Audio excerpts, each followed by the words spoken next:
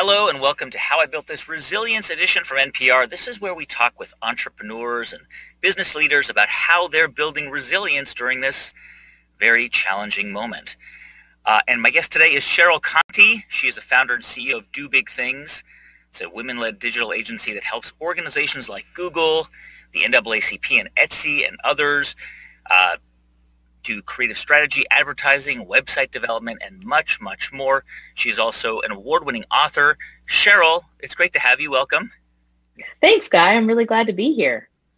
Uh, before we begin, I just want to thank NPR sponsor HubSpot for their support of this episode.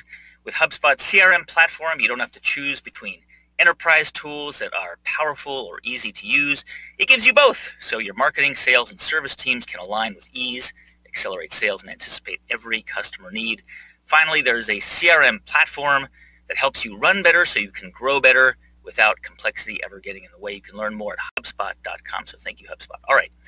Cheryl, you were part of our first ever How I Built This Summit in 2018. You came back in 2019. It's so great to have you back uh, with us today. And by the way, if you are uh, watching on Facebook or YouTube or uh, Twitter or LinkedIn, you can submit questions for Cheryl um, through those uh, platforms, and we will try to get to as many as possible. So first, Cheryl, for those of you, uh, for those of, of, of, of us watching, um, tell us a little bit more about Do Big Things. Tell us about your company. Sure, absolutely. So Do Big Things is a digital agency, as you mentioned, uh, that specializes in working with the world's leading causes, campaigns, candidates, corporations with mission-driven initiatives uh, to provide the new narrative and new tech for the new era in which we all are living in today. Uh, so yeah, we're working really hard uh, on the election, but also on the pandemic. You know, we've been working on eviction prevention campaigns. We're likely to start working on um, an, uh, a a campaign targeted at misinformation around vaccines. Uh, you know, we're we're out here really trying hard, you know, to to, to help people in a tough time. And and sort of give me a sense of, of how you how you work with companies. Like what are I mean, campaigns, of course, and, and sort of creative marketing, strategic advice, um, things like that. Sure. People come to us for a lot of different reasons, right? You know, we are a digital full, service agency, right? So, you know, whether you need strategy, uh, you need research on online influencers and, and who to target where for what, uh, whether you want to run uh, ads for persuasion, uh, or for acquisition. Uh, some people were, were building apps. We build uh, websites. Uh, it just depends on you need to do something online to reach someone, usually not to sell anything. You know, we're not selling things, widgets, toothpaste, cars. You know, we're, we're helping to promote positive ideas that create social change. So I know, um, Cheryl, before you uh, launched Do Big Things, you actually created uh, another business, attentive.ly, attentively, um, which was a social marketing software um, business and, and, and one of the first tech startups with a, with a black female founder, um, and then it was acquired by a NASDAQ company. Um, so can you can you just kind of walk us through the, the journey of, of, of that business and how it was acquired and then how you decided to start Do Big Things? Sure. Well, that's a long story of uh, how I started attentively, but basically we saw a gap in the market. And I think especially in this time, for those people, maybe you have lost your job or your job is changing, uh, you know, things are moving around, you know, look at the gaps around you and, and see if you're able to provide a solution to that problem. And that's what we did. We saw in the corporate marketing segment that there were a lot of people using social listening, influencer engagement, and marketing automation in, in very sophisticated ways online that nonprofits didn't have access to uh, for a lot of different reasons. Price, uh, the tools weren't really tailored to the way that they talk about their audiences. So that's why we created Attentively, you know, to meet that need and fill that gap. And, you know, we had competition, of course, and, and we were very visible also, you know, as an all-female team, as, you know, with a black female co-founder, it wasn't easy to get funding. Um, we, we had to work really hard and, and I experienced, you know, some real discrimination despite, you know, running at the same time, you know, another digital agency that was, you know, had, had pulled in millions of dollars in revenue. You know, we were still seen as, as risky, uh, which to me seemed very, very strange.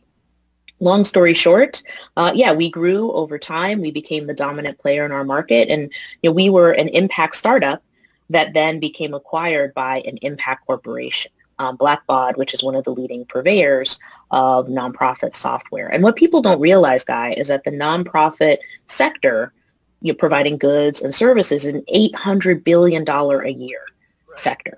So, you know, th- this is, you know, there, it's possible to do good by doing good, and, and that's what we do here at Do Big Things, and what we did at Attentively. Um, I know that you've been um, you've written a lot about uh, you've got a blog and you and you and you write for for different publications and um, a, a, lot about increasing diversity in entrepreneurship. Um, how can you talk a little bit about some of the ways that that you are trying to to, to, to push this idea out into the world? Absolutely. Well, when you look at uh, the field right now, there, there's still this socialization, you know, in, in our country, in our world, that a an entrepreneur looks like Mark Zuckerberg. And no disrespect to, to Mark, but, you know, he's not the only person who's got great ideas. Entrepreneurs can come in every shade, every size, every color. Um, and that's a thing that I think we need to work hard uh, especially now as our economy is rebooting, you know, to work on. So I wrote a book, Mechanical Bull, How You Can Achieve Startup Success. And it's really, it's the story of my journey, but there's also a lot of friends of mine who are investors, uh, who are founders themselves. And it's their stories as well of, you know, what did it take to get through every part of the startup cycle, which is tough. I named it Mechanical Bull in part because it's a wild ride. It's a tech startup, no question, especially if you're a woman. Uh, you know, when a woman rides a mechanical bull, people have a different uh, response to that than a man. You know, when a man rides a mechanical bull, they're looking at his strength, his strategy, his stamina. When a woman is riding a mechanical a mechanical bull, you know, they're, you know, watching the jiggly parts, right? And they're not really focused on the same amount of effort, maybe more effort that it takes for a woman, that same strength, strategy, and stamina. So uh, I wrote the book to help other entrepreneurs uh, launch their their company. You know, maybe you have an idea and you're not really sure how to start, or maybe you're midway and you're struggling. You know, I did it the tough way. Okay, like having being in the tech world as a black woman, not easy at all. Absolutely dancing backwards in heels. Okay. Uh, that said, I also am active with uh, groups like Social Venture Circle, uh, which is all about uh, impact uh, entrepreneurship and investing. Uh, I am an advisor to Astia, which is one of the leading uh, angel uh, networks focused on female entrepreneurs and startups. I'm also partnering with Impact Seat. Um, and Impact Seat has actually has a focus on uh, women and women of color. They've made 60 uh, investments. And, you know, what I really like about Impact Seat um, is, you know, their philosophy, right? The key idea isn't that diversity is a social good. It is, but it's a strategy for growth. And, you know, minority-owned businesses and female-owned businesses have creative friction built into them the way they operate every day. And that's what we need in our economy now more than ever. Barbara Clark, you know, who leads Impact Seat is amazing. And that's actually a quote from her. Um, you wrote an article in the Harvard Business Review. It's called um, "Advice on Launching a Tech Startup When You're Not a White Man," and it's a really terrific article. Um, and if you're following us on Twitter or, Facebook, we'll post that um, that link to that article so people can check it out. Um, you know, one of the things you talked about was that um, you know when when founders of color are pitching entrepreneurs, uh, are pitching VCs, um, they're pitching ideas that help may help their communities out, but may not solve uh, uh, problems or impact the, the, the lives of the rich, you know, predominantly white men who they're pitching. So what, what advice do you have for, um, you know, for up and coming founders and founders of color who, you know, to kind of demonstrate that their, their big ideas are worth it, are worth backing, even if the potential funders, you know, might not be directly impacted by that product or service? Absolutely. Yeah, I do hope that people check out uh, that article because uh, we worked really closely um, with Harvard Business Review on it. Um, and it has a lot of practical tips in it that I think people can use right now.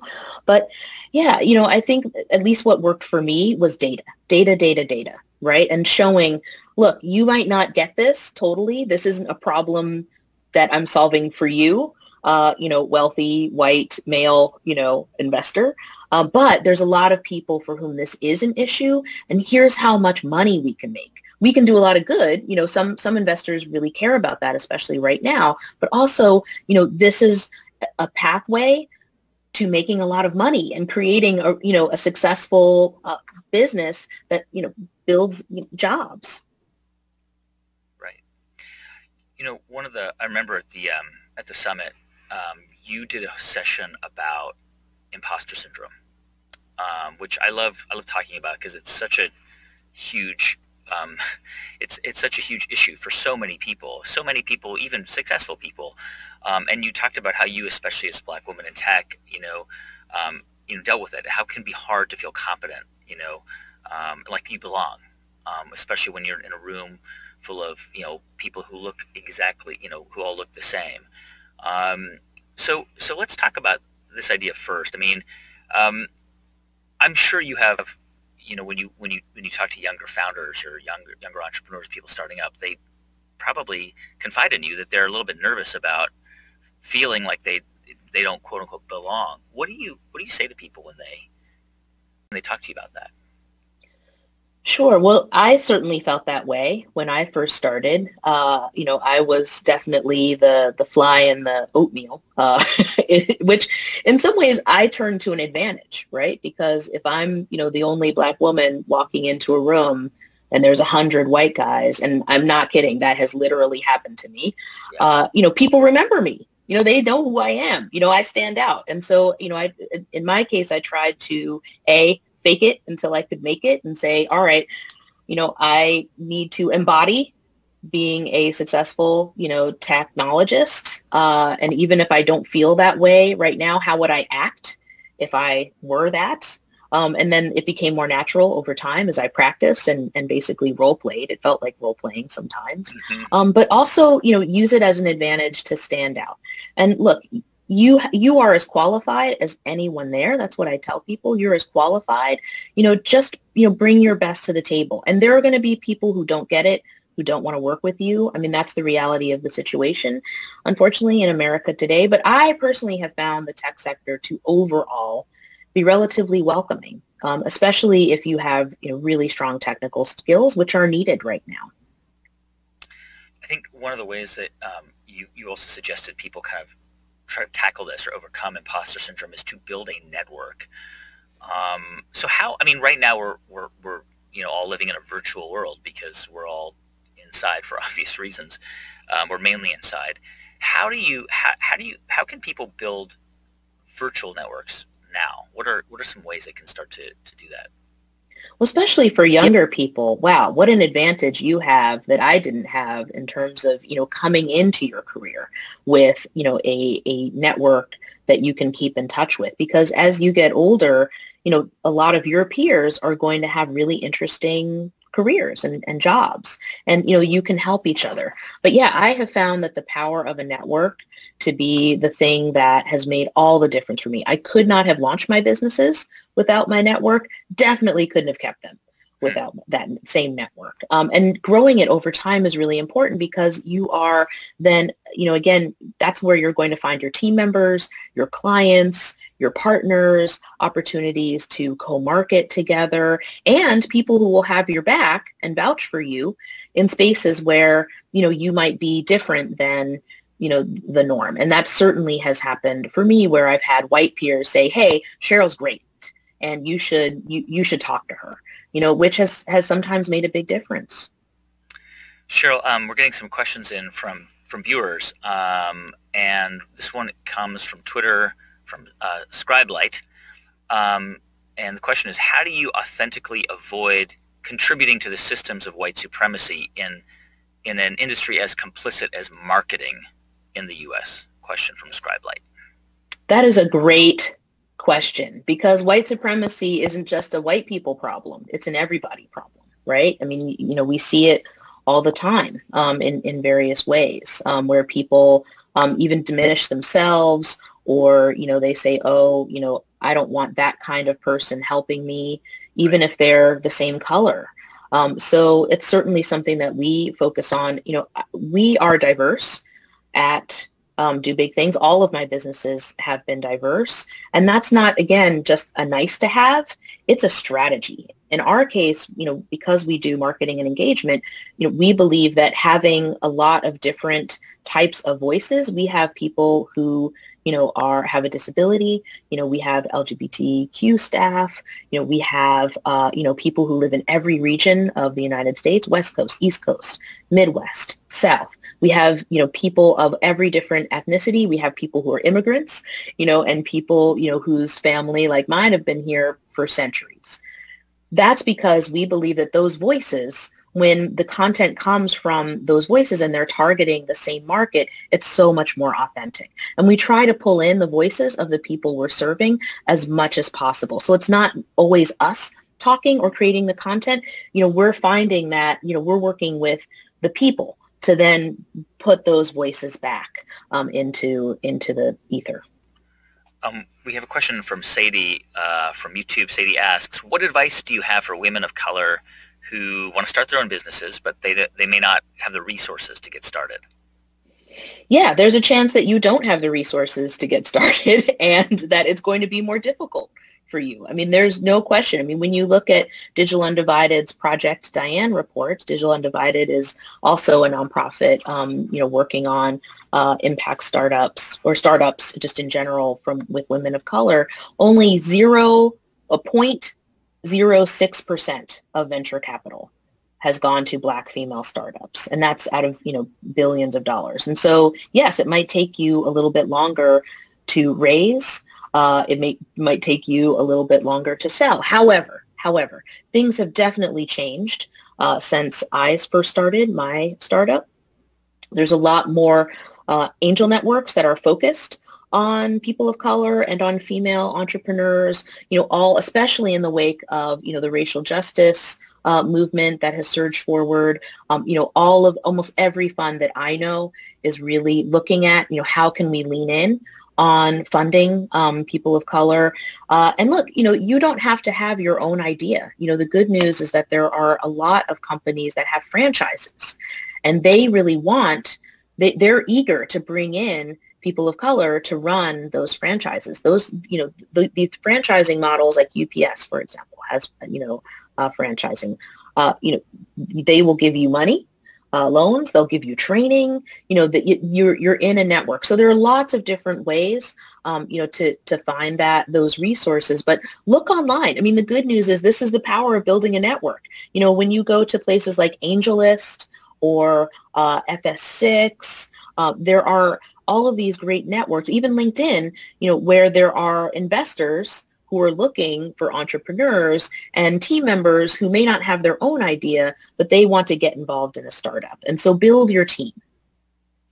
You know, um, we've had um, in, in recent months, we've had um, some VCs on who are focusing on, on, on um, supporting women and women of color. Um, and we've, we've been hearing about even some of these big VC firms like Andreessen Horowitz who are actively seeking to fund um, uh, businesses started by black founders.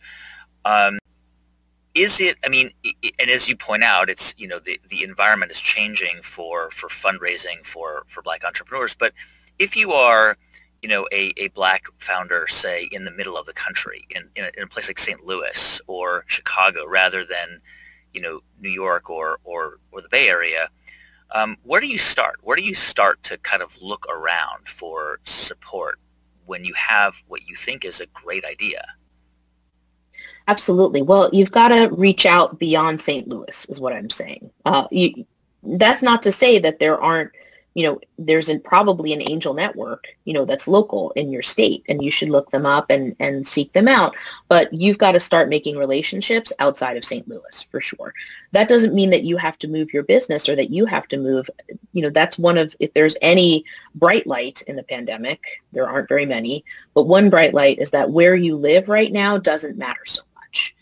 So, you know, it's a question of, you know, how do you start to map out, okay, this is my idea where who are the funds? Who are the investors that are interested in that this kind of either manufacturing or AI or this startup or food? Because funds, VCs and angels do tend to have a focus of where they're going to put their money. They're not just looking for any startup or, you know, any black person or any woman of color or any founder, you know, they're looking for, they say, okay, you know, we want to invest in innovative startups that are focused on, you know, changing uh, you know, data, right? They're, they're data focused or, you know, they're AI focused or they're food focused, whatever it is. So you can actually, I mean, that's the, the beauty of the internet. You can actually go out and Google and start to network, you know, again, in places like AngelList and, and find these people or LinkedIn and just talk to them. You don't be shy. I mean, look, I'm here to tell you, being shy is not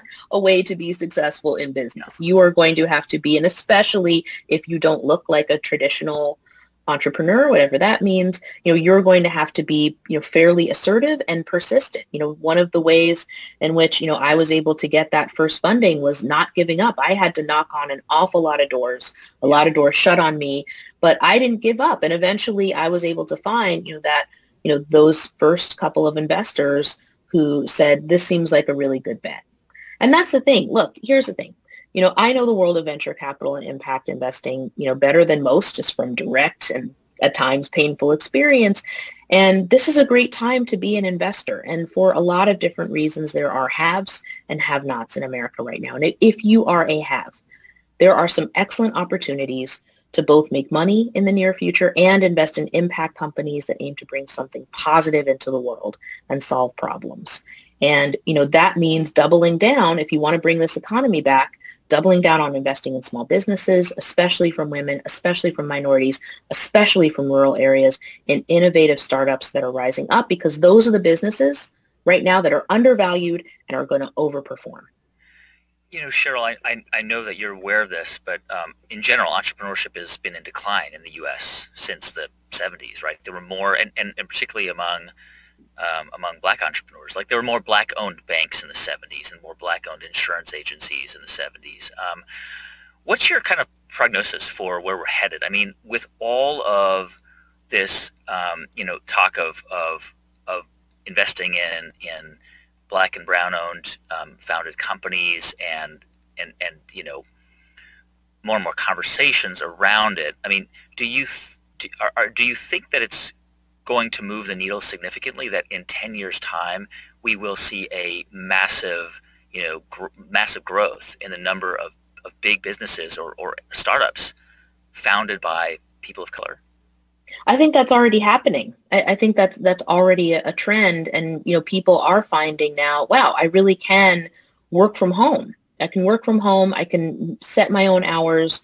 I, I can you know make that difference in my life uh, where I have a family-friendly life, but also I am doing great work. You know, and that's because, you know, our, our economy has been turned upside down and people are going to have to be very creative about, you know, how they rebuild their lives, their careers. And I think that the, the government clearly, at least in the last stimulus, and I think probably in the next stimulus, is wanting to support small businesses. Small businesses are the foundation. Something like 70% of jobs ultimately are still in small businesses. Yes, there has been consolidation, um, you know, just because big business, you know, just the, the way that the prior economy, you know, was moving, you know, was in, in, you know, pooling things together. Uh, but I think that all of that has been scrambled. The egg is scrambled. Right. Uh, and uh, there's a lot of opportunity right now. And I think that you'll find that local governments, state governments, the, the federal government is actually going to put a lot of resources into helping small businesses. And that's by necessity going to have to include minority-owned businesses. Um, one last question um, from the audience. This is uh, from Tom via LinkedIn. Tom asks, um, Tom says, we want more diversity at our company. Um, how do we strategically market to minorities to get them interested in working for us? Ah, that is a really great question. Good for you. Yeah, you know, I read a statistic that uh, something like 70 to 75% of white people don't actually know another person of color, which I find to be a baffling statistic. I'm not really sure how that works in, in America, but uh, you know, I get it that, you know, you're trying to reach outside your network and you're not really sure how to start. And I think acknowledging that is important. Uh, you know, it happens to me all the time where colleagues reach out to me and say, who do you know, Cheryl? Can you connect me? You know, so figure out who in your network. You've got to know, hopefully, at least some black and brown people. And if you don't know them personally, look them up on LinkedIn. You know, start to look in your field, start to read articles right? Uh, you know, in your field and figure out, okay, who are the leaders who also happen to be Black or Latinx or Asian American. Reach out to them, even if you don't know them, and just say, hey, I love your work. I think you're great. I'd love to get to know you. And hey, we're also hiring. You know, actually, you know, you're going to have to do a little more work. You're going to have to get out of your bubble right? And and really reach out. Now, there's also lots of venues where you can reach out. You know, there's Black Enterprise Magazine. You know, there are of course shows. You know that you can advertise on. Um, you know, there are uh, blogs. You know, there are online influencers you can look up. They're all there. You know, but it does require taking that step of doing some research to figure out who are the leaders, who are the players, and how can we start to reach out to them to help us recruit. Cheryl Contee, Do Big Things, thank you so much. Thank you. So great having you. Um, thank you everybody for watching. A couple quick announcements before we go. Uh, next week on the series, we're going to have Justin Gold, the founder of Justin's uh, uh, Nut Butters, and you probably know maybe his peanut butter cups are great. Um, check out your podcast feed. Our most recent episode uh, dropped on Monday. It is a two-part episode. It's the first time we've done a two-part episode. It's about McBride Sisters Collection amazing story of two sisters who were separated at birth and connected as adults and created now one of the biggest black-owned wine businesses in the world. It is an incredible story. If you haven't listened to part one, drop everything after this and go listen. It will, it will change your life. I'm serious. It's amazing. Um, also, if you um, haven't had a chance to check out my new book, it's out. How I Built This, out in bookstores wherever you get books. Check it out. If you love this show, you will love the book. Uh, and check out Cheryl's book too. Cheryl, hold it up. Check out Mechanical Bull too. Sold wherever books are sold. Um, the other day, Cheryl, I walked into a, a bookstore and I saw my book in there and I just secretly signed it and then I, I put it back on the shelf. So you should try doing that too. Maybe I will. That sounds yeah. fun. Yeah. Um, thanks everybody for watching. We'll see you back here uh, next week. Uh, Cheryl, thank you again. Thank you, Guy. This has been great. Bye, everybody.